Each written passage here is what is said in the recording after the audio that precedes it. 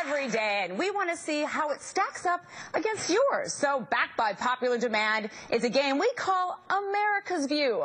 Today, we're finding out what women really want. And back to put Whoopi and me to the test is America's top pollster, Frank Luntz. Welcome, Frank. Let's get to it. We asked American women, what is your man's most annoying habit? Only one. Breathing.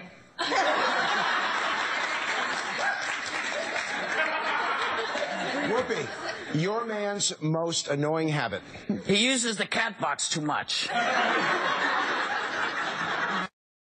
He's the only man in my life. And America's audience, listening. does your man use the cat box too much? Raise your hands. Yes, see, they know. We have No, three the men don't listen. That's the biggest piss off for most women. And that is the number one answer, that men don't listen. Sorry, I wasn't listening. What? All right. And here's what's interesting.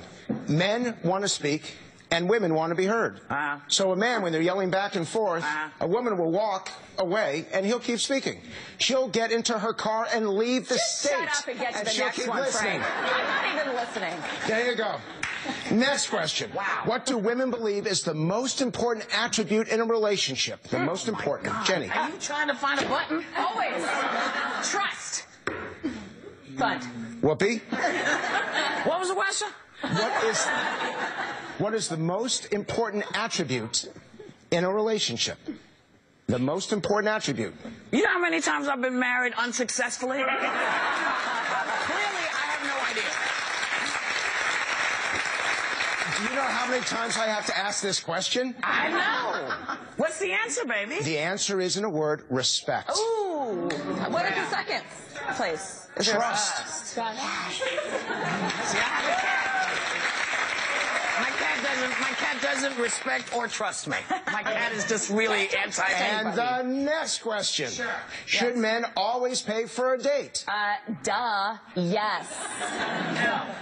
Oh no, I don't think. No, if listen, if you ask someone out, it's your idea. You should pay for it, or at least pay for oh. half of it. You know what? I'll pay for half a house, but I ain't paying for dinner.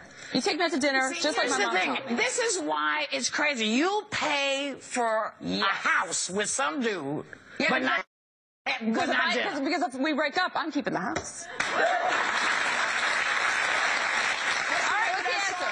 I think the song is called "Dream On." Say what? No. 68% of women said yes. Men should always pay for the date. Yes. Absolutely.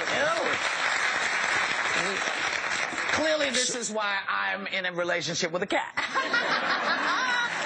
The final question.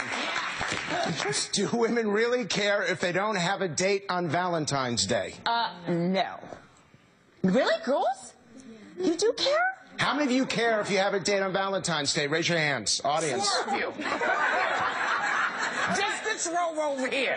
What do you think, Whoopi?